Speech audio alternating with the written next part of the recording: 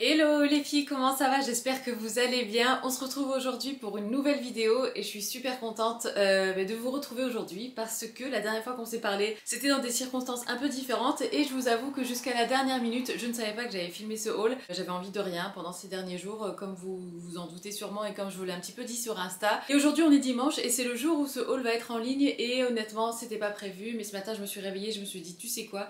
Je vais pas me laisser abattre et surtout je vais pas laisser euh, des personnes euh, mal intentionnées euh, affecter ma vie alors que finalement c'est pas du tout ce que je mérite et quelque part c'est pas à moi à me sentir mal mais ça serait normalement à eux. Donc la vie continue et je suis super contente de vous retrouver aujourd'hui pour un haul H&M et il y aura aussi du COS. Euh, parce qu'en fait j'avais passé une commande COS pour quelques articles. Et en fait c'est parti euh, d'une chemise. Parce qu'en fait j'avais commandé une chemise euh, spécifique sur COS qui coûtait un certain prix. Et en fait je me suis rendu compte qu'il y avait exactement le même modèle sur H&M pour beaucoup moins cher. Et je me suis dit tiens ça serait sympa de comparer les deux. Et donc bah, du coup j'ai rempli un petit peu ma commande, enfin mon panier H&M donc il y a du H&M et il y a du COS et on va comparer les deux articles en question. Donc on commence par COS tant qu'à faire, comme ça je vous montre la chemise. On va commencer par ces mocassins que je vous ai montré déjà euh, dans mon dernier vlog. Et en fait ces mocassins je les adore, je les avais vus alors je sais plus, il me semble que c'était des Prada que j'avais vu passer, mais bizarrement quand je regarde sur leur site, euh, elles y sont pas. Mais par contre il y a un modèle similaire pour hommes. Donc je me dis peut-être que c'était une inspiration euh, Prada homme, je sais pas trop. Mais en tout cas je sais qu'il y a un modèle similaire chez Céline. Euh, bon Céline, il y, a, enfin, il y a la boucle et tout ça, mais c'est vous savez ce modèle comme ça de, de mocassin un peu à la Michael Jackson avec la partie comme ça froncée ici devant. Et moi j'adore. Alors je sais que ça peut faire très papy, ça peut faire très Michael Jackson, ça peut faire très... Euh, je sais pas, vieux, enfin je sais pas trop, mais moi j'aime beaucoup et je trouve que ça on peut vraiment le moderniser avec un look, euh, euh, voilà, on va venir décaler un peu le tout, ou bien même moi je sais que j'aime beaucoup par exemple ce style de mocassin avec des chaussettes, soit des chaussettes foncées pour rester sur un ton sur ton, soit y aller à fond et mettre des chaussettes blanches comme je l'ai fait moi euh, sur mon dernier euh, post euh, Insta. Alors honnêtement, moi j'ai pris en 42, enfin j'ai pris une taille au-dessus en fait de ma pointure habituelle parce que je m'étais dit voilà, on sait jamais, puis au pire je mets une semelle. Et honnêtement j'aurais pu prendre 41. Donc prenez votre taille habituelle, moi ce que je vais faire c'est que je vais rajouter une semelle parce qu'elles sont un petit peu trop grandes pour moi, mais je les aime beaucoup, elles sont en cuir, elles sont très très confortables. Et parfois c'est là aussi que je vois la différence quand je prends des chaussures voilà qui vont coûter moins cher, qui vont peut-être aussi être en cuir, mais je sens que la finition n'est pas la même et je sens qu'au fur et à mesure que je les porte, bah, c'est un peu bancal. Enfin, je sais pas comment expliquer, par exemple, même pour des chaussures à talons, par exemple, je le vois avec mes chaussures euh, mango, mes bottines là, euh, les pointues, mais je vois que, enfin, je sens quand je marche avec que honnêtement, elles sont pas hyper stables. Voilà, c'est les petits détails comme ça qui font que, bah, t'en as pour ton prix et que euh, voilà c'est des chaussures euh, qui vont pas me durer très très longtemps. Je suis pas sûre de pouvoir les porter encore l'année prochaine quoi. Mais en tout cas pour celles-ci franchement elles sont de super bonne qualité. Elles sont très souples. Et c'est vrai que souvent ce genre de mocassin comme ça euh, ça peut être ça peut faire un peu plastique bah, surtout quand elles sont pas en cuir mais ça peut aussi avoir une matière comme ça très très rigide qui du coup je trouve fait mal aux pieds en tout cas pour moi. Mais là pour le coup c'est pas le cas. J'ai voulu pousser le bouchon un petit peu plus loin et je les ai prises aussi en beige. Je les trouve magnifiques. Alors ça pour moi c'est typiquement le genre de chaussures que je vois, euh, euh, voyez les hommes porter en été avec un costume en lin, ce genre de choses et tout. Moi je trouve que même pour femmes franchement ça peut faire hyper sympa avec par exemple un jean euh, brut bleu assez foncé et tout, ça peut venir bien décaler le look et puis avec une jolie chemise ou, ou peu importe même avec un blazer et tout ça pour avoir ce côté féminin, masculin, un peu androgyne, moi j'adore. J'ai envie de les garder mais je me dis est-ce que c'est bien raisonnable euh, sachant que voilà qu'elles sont blanches donc peut-être moins facile à associer avec des tenues et tout. Donc je suis encore euh, sur la... pas sur la réserve mais je suis encore en pleine réflexion mais je les aime beaucoup et euh, ouais si je pouvais je garderais les deux. Et donc voici les chemises en question que j'ai commandées sur le site de COS.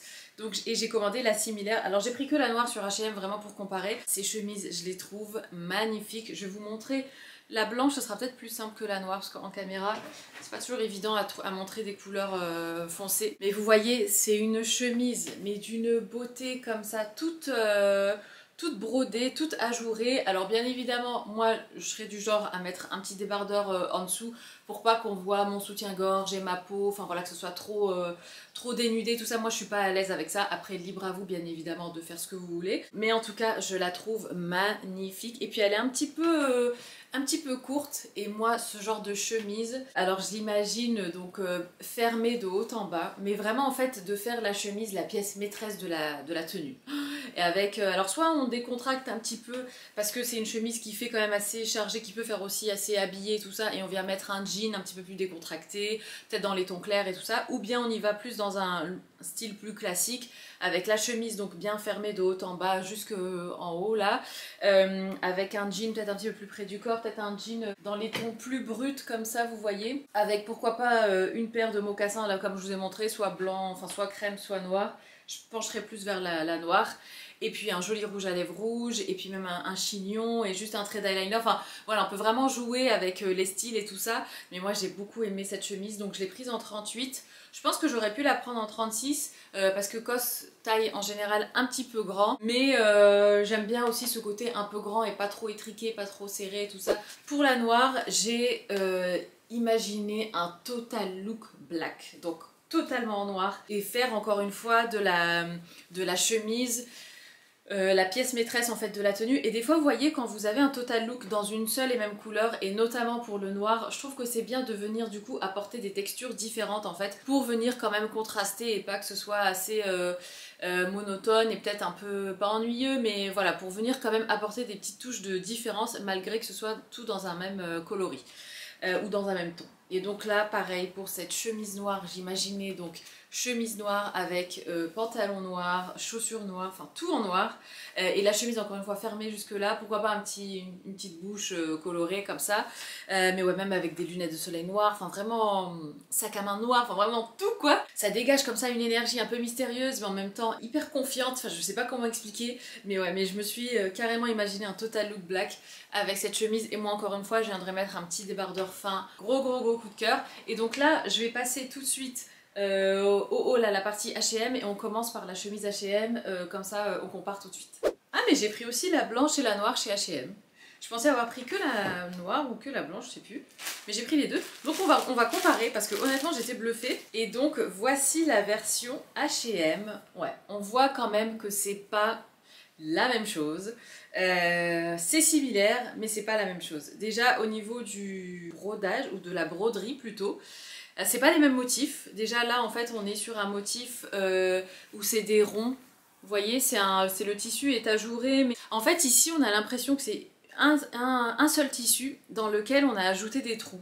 Alors que là, on a l'impression que c'est plein de morceaux en fait qui ont été cousus euh, les uns à côté des autres. Je sais pas comment expliquer. Ici on dirait que c'est plus un empiècement et puis c'est plus de fleurs ici. C'est un motif euh, plutôt floral. Et ouais, honnêtement, on voit quand même que la qualité est tout autre euh, chez Cos. Mais après, encore une fois, voilà, moi, ça me permet aussi de vous montrer un dupe. Si jamais ça, pour vous, c'est hors budget, et eh bien sachez que vous avez quelque chose de similaire chez H&M et que vous pouvez reproduire le même look. Au niveau du col, on est sur un col assez prononcé, assez pointu et uni tout noir. Alors que là, sur le col, on est sur quelque chose qui est euh, aussi euh, brodé, enfin qui a un rappel en fait au niveau des, broderies ou des trous, enfin je sais pas comment expliquer, euh, au niveau du col aussi. Et après au niveau du poids, je vois bien que cette matière là, elle est plus légère et que le tissu est moins, moins rigide, beaucoup plus souple. Alors que là, on a quelque chose qui se tient beaucoup plus droit et qui a un tombé quand même plus lourd, qui va vraiment euh, venir, le tissu va vraiment tirer vers le bas quoi, pour rester quand même assez droit, assez rigide sur vous alors que là pour le H&M ça bouge plus euh, dans tous les sens et je suis pas sûre que ça tienne euh, aussi bien en place que, le cos mais ceci dit honnêtement la chemise H&M je la trouve très très jolie aussi. Celle-ci alors pour le coup elle est à longue manche alors que la cos comme vous l'avez sûrement vu elle est à courte manche. Enfin je pense que ça arrive à peu près jusque là honnêtement c'est les mêmes looks euh, voilà même style pas tout à fait la même pièce. Voilà ça dépend de, de chacun. Il y a aussi ce côté un peu cropped ici je trouve même, je pense même que c'est plus court sur la H&M que sur la COS. Ouais, la cosse elle est quand même plus, euh, plus longue. Donc voilà, mais en tout cas c'est un super bon comparatif et dites-moi si vous aimez le concept parce que si c'est le cas, euh, j'aimerais bien vous faire des, sélections comme ça et vous donner des dupes du coup avec des choses, euh, des, options comme ça un peu moins chères, plus abordables et tout ça pour vraiment venir, comment dire, bah, plaire à tous les budgets et venir satisfaire tous les budgets. Honnêtement, je préfère le côté longue manche sur celle-ci que le côté courte manche sur l'autre. Mais après, voilà, c'est qu'un détail.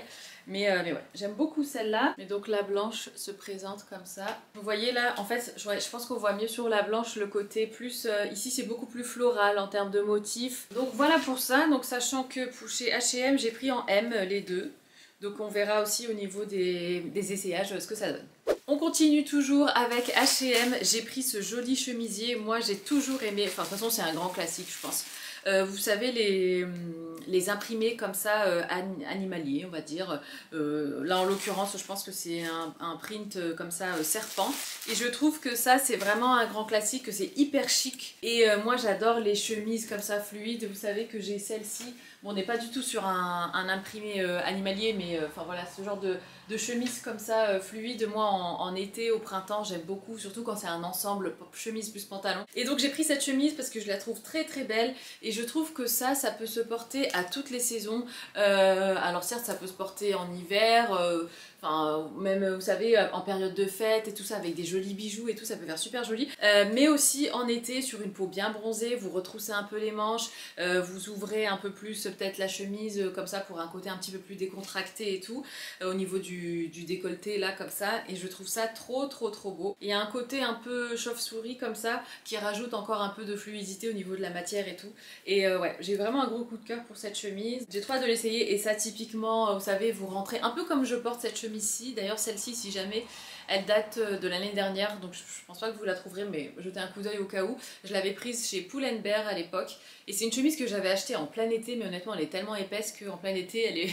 j'ai du mal à la supporter, donc je la mets plutôt là euh, au printemps et tout ça. Ouais, donc je la porterai assez, euh, de manière assez nonchalante, donc pourquoi pas rentrer le devant, ou même rentrer partout, et puis laisser ce côté comme ça un peu bouffant, et venir ressortir un peu sur le, sur le pantalon. Moi, c'est typiquement le genre de, de, ouais, de chemise que je porterai avec un jean, mais ceci dit, on peut très bien la porter aussi avec un pantalon euh, de costume clair comme ça par exemple et euh, apporter une touche beaucoup plus chic. Euh, beaucoup plus habillée donc à la chemise. Vous voyez j'ai même ce pantalon en soie là de chez Lily Silk, franchement les deux ensemble ça fait super joli. Et pourquoi pas même un jean wide leg comme ça avec ce chemisier, trop trop beau aussi.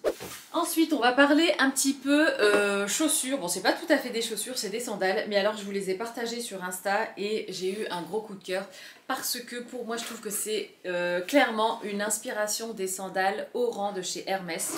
Et vous savez à quel point euh, j'adore Hermès. Et donc, quand j'ai vu ces sandales, je me suis dit, non mais waouh elles sont trop, trop, trop jolies. Euh, ouais, énorme coup de cœur. Je les ai pas encore essayées. Alors, elles sont en full cuir. Euh, elles sont, vous savez, elles sont molles ici, donc elles doivent être hyper confortables. Et j'aimais bien, en fait, le côté surpiqûre comme ça. Je trouve que ça rajoutait vraiment une touche hyper chic.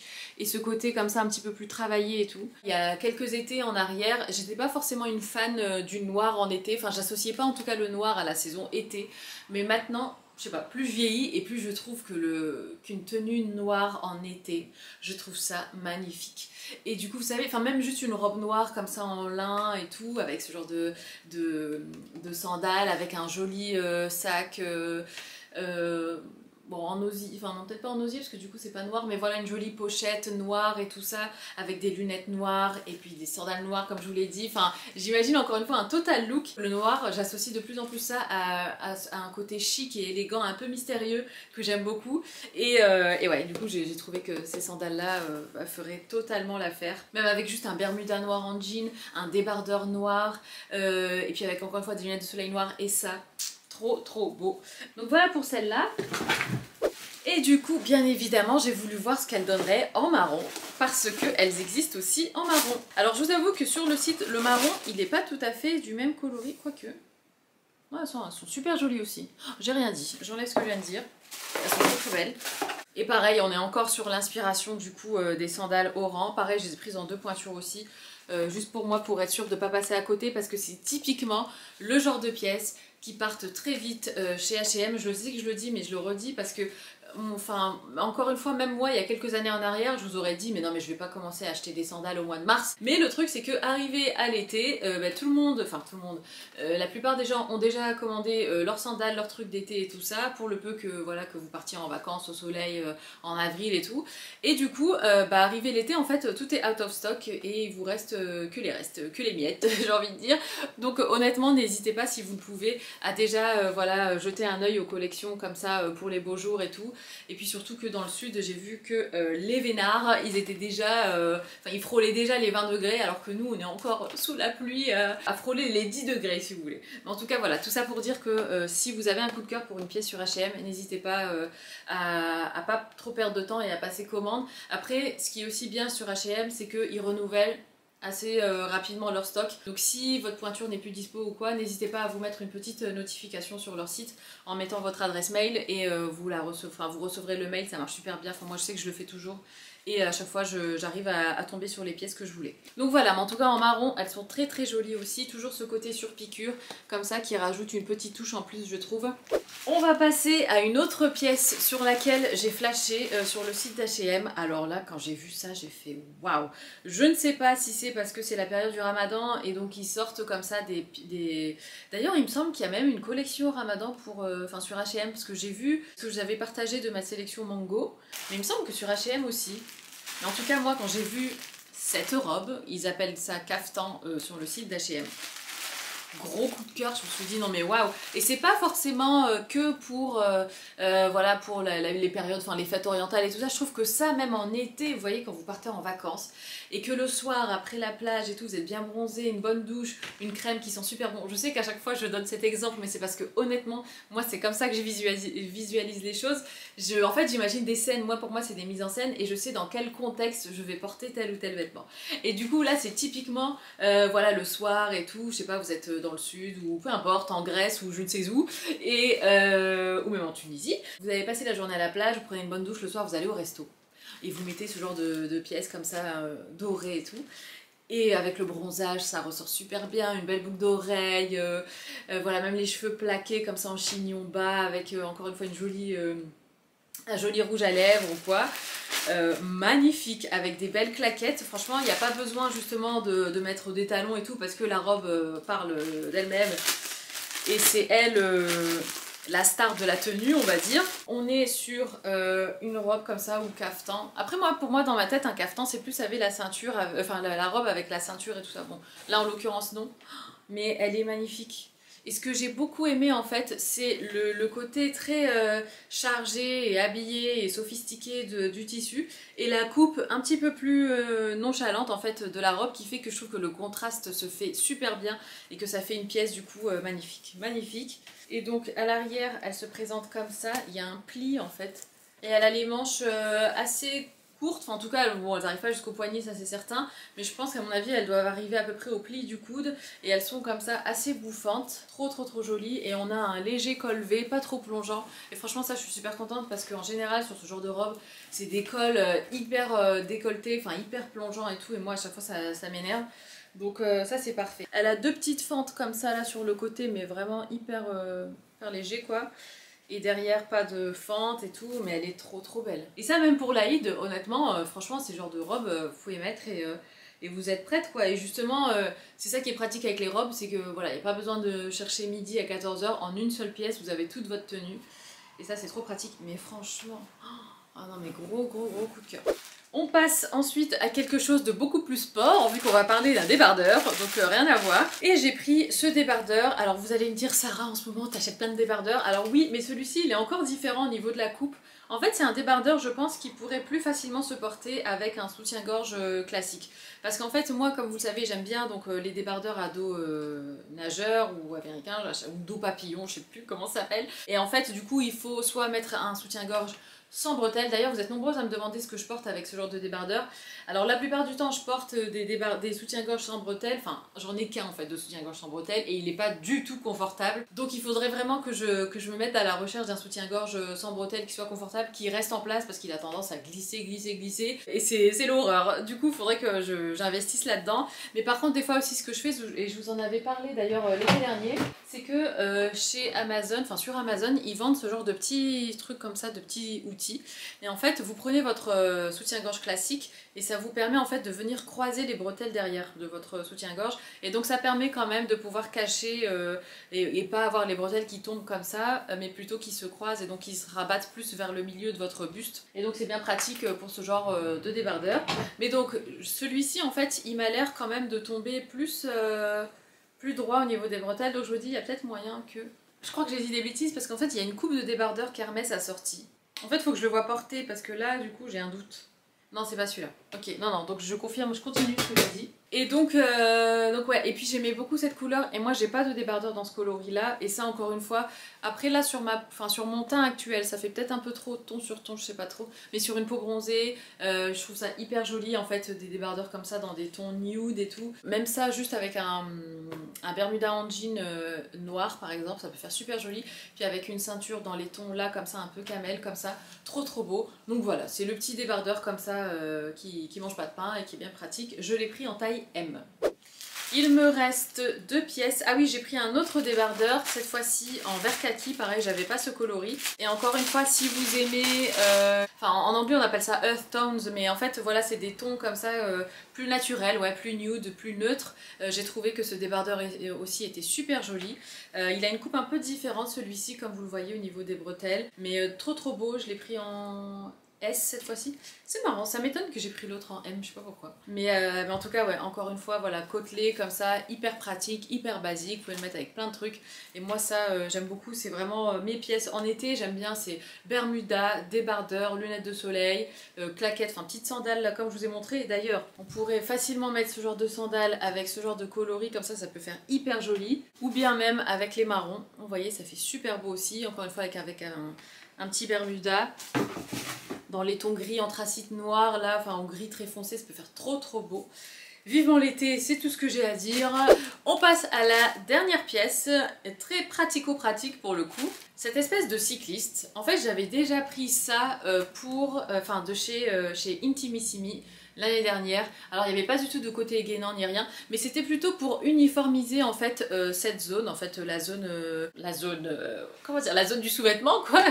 Et en fait plus pour le côté voilà éviter qu'on voit mes sous-vêtements à travers. Et des fois c'est pas tant le coloris de mon sous-vêtement, mais des fois c'est vous savez la, matière de mon sous-vêtement en fait.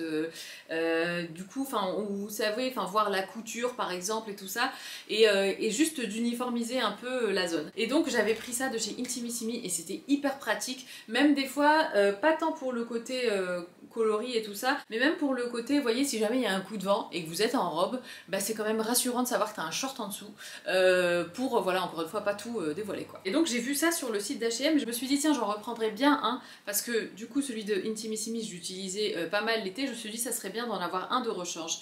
Et celui-ci, la particularité qu'il a, c'est que je pense qu'il a un côté un petit peu gainant, parce que vous voyez là la ceinture, elle est quand même bien, bien rigide, enfin ça, ça doit bien plaquer le ventre je pense.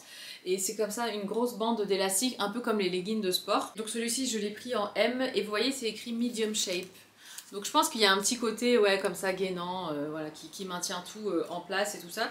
Je trouve ça pas mal du tout. Vous savez par exemple moi j'ai une, combinaison blanche euh, elle est super belle et en fait elle est en matière comme ça assez fine. Et c'est typiquement le genre de truc voilà où je veux que bah, que tout reste bien en place et tout, et puis que quand je marche, bah voilà, ça, ça, fasse pas droite, gauche, droite, gauche, vous voyez ce que je veux dire? Du coup voilà, c'est aussi pour ça, ça peut être bien pratique.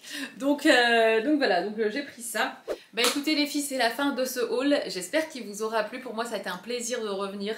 Euh, franchement de filmer, ça m'a vraiment redonné le, sourire et tout ça, et ça m'a redonné l'engouement que j'avais pour, pour la mode et pour tout ce que je vous partageais avant. Donc voilà, merci d'être là, merci pour tous vos messages d'ailleurs. J'en profite pour vous remercier parce que franchement vous avez été adorables. Vous m'avez aussi beaucoup rassuré, ça fait plaisir de savoir que... Enfin, ça fait plaisir, non, ça fait pas plaisir, mais en tout cas c'est rassurant de savoir que voilà que c'est arrivé à d'autres personnes et que malheureusement ça arrive à beaucoup plus de, personnes et beaucoup plus souvent qu'on ne le pense. En tout cas je, vais de l'avant et j'ai repris du poil, du poil de la bête et, euh, et, ça me fait du bien de revenir par ici, donc euh, pour tout, merci d'être là. Et si jamais mon contenu vous plaît, n'hésitez pas à vous abonner, on n'est pas loin des 100 000 et franchement ça serait une grande fierté pour moi qu'on arrive à atteindre ce chiffre ensemble, donc si vous voulez me soutenir, euh, n'hésitez pas à vous abonner. Je vous embrasse, prenez soin de vous et je vous dis à très bientôt. Ciao